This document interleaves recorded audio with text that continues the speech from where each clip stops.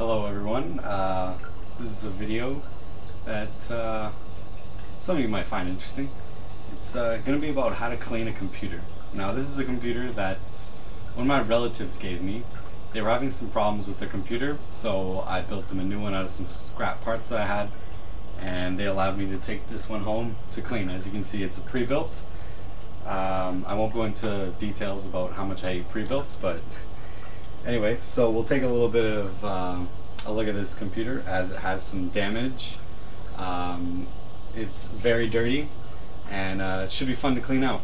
So hope you enjoy it. Stuff to note about this computer is that uh, I would estimate that it probably hasn't been cleaned out in about six years. The previous owner had cats and also smoked, so there is a general horror scene for any sort of computer junk. Right along here, there's uh, rust damage, and we'll see that more once we open this up. It's the story that I'm told that someone dro dropped coffee or water along the side here. So as you can see, extensive rust damage, rust damage to the case as well, the side panel, sorry. And here's just a taste of what we're looking at in terms of tar buildup. So this is the inside. Uh, the board is Intel. It came stock with, I believe, and let's see, I believe this is a 200 watt power supply. 350 watts, sorry. Okay, so I'm going to cut. I'm going to pull up the power supply so that you can take a look at that. So, this is the beautiful power supply. Uh, I'll switch between macro and uh, regular views just so you can get a, a feel for how this thing looks. So, those are the back vents. As you can see, they're very dirty, very clogged up with uh, cat hair. I'm going to clean up these a little bit. You can see all of that in there. The back of the or the front of the power supply. Those are the fan grills. I'll switch to a regular view now so you can take a general look at the whole thing. So, with the power supply removed, uh, I think I'm going to unplug everything from the motherboard and remove the CD drive because I haven't actually taken a look at that yet. So, I've more or less uninstalled most of the components from the motherboard. But as you can see, I was actually wrong. There is no front fan up here. So this computer was literally running off of the Cooler Master cooler over here. And it's no wonder why my relative complained that the computer was overheating if uh, they were to put it too close to the wall. So that's just a little bit of insight into pre-builts and why I do not recommend them. Alright, while I'm pulling this apart, um, maybe I should actually say that pre-builts aren't necessarily horrible if you get them made right. However, this is obviously a budget PC, so it, a budget approach was taken in terms of the quality of this. Okay, so I've got the front panel removed. Uh, I don't know honestly what I'm going to do about this rust. I might try and sand it down. Maybe I should show you guys the bottom of this thing because I see a couple bugs and uh, it's generally a mess in here anyway. Oh, there's a grain of rice. Okay, so this is the bottom of the computer. Mm-mm-mm, delicious. There's some nice fluff on the motherboard there. Rust all around. Good stuff. So now I think it's time for the moment that you should have been waiting for, the uh, CPU cooler. So let me grab this thing out of there and I'll show it to you. Alright, so the camera right now might not be able to catch the full extent of the damage.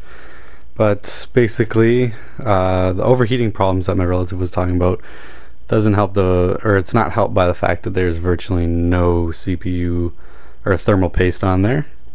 Uh, you can't see it, but there is, oh, there, you can see some of the buildup in there of tar and pet hair. There's a huge buildup in there and this fan is removable so I'm gonna remove it to show you guys. And there she is. Oh god. The cause of all of the heating problems. I'm surprised the CPU even functioned to be quite honest. This is literally solid blocks of pet hair and tar.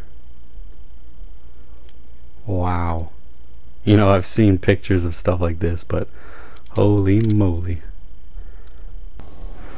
Alright, so I just disassembled this power supply because I'm going to try and rinse this out too. I'm not sure if this is a good idea, but this computer has been sitting unplugged and idle in my garage for pff, two weeks probably. So I'm hoping that most of the capacitors are discharged, and if not, they'll discharge in the water. Hopefully, not with my hands in there. And uh, we'll just see how it goes. Just a little bit of a side note that I don't really care what happens to this computer because it's not mine. It was given to me. The previous owner, my relative, said that they didn't care what happened to it anymore. So I'm going to experiment in it or with it. And the first experiment is washing the motherboard and washing this out. See if I can get this thing nice and clean. Alright, so I'm going to throw these components in one at a time. Um, going to soak them there for probably about five minutes. Swish them through a little bit. Get some of the cat hair out of the stuff. And um, then once they're done, I'm to shake them out. Leave them to dry for, oh, at least a week before I even think about putting this computer together. I don't hear any frying. Ooh, there's some nice fur balls right there coming out. That's just gross. Have to get rid of some of that junk or else it's gonna, all going to be floating around in there. CMOS battery is out, by the way. Well, it's done. So it's been about um, a little more than two weeks, actually about two weeks, since I washed out all the internal components. And what I've done since then is I've gone through the case, um, washed it out as well, and uh, sanded some of the rust off so that this thing isn't uh, isn't flaking rust every time that you pick it up. So now I think I'm going to put it back together and uh, we'll see how it runs. Well, it's more or less back together again. And it never looked better. I think I got about a gig and a half of RAM in here now instead of the 512 that was in here before. It's a slightly slower speed though. Nicely cleaned out. Got a 13 gig hard drive in there. Careful, don't want to bust any boundaries on this one. Well, it took a while, and when I uh, turned on the power supply, these two lights just kept blinking, which made me think that the power supply was dead. But uh, it's working. It gave me three short beeps though, and I forget what the uh, post what that is in post code. So I'm gonna power it down and see what. Well, it's working now. I removed uh, three of the sticks of RAM and left one in there and uh, now it's working. So I'm gonna see which of these sticks is the problem. Alright so now it's working fully. Just threw a new stick of uh, 256 in there. The other one's bad. And uh, it's perfect. Completely new washed out computer. Uh, I'll just show you the um, hardware monitoring.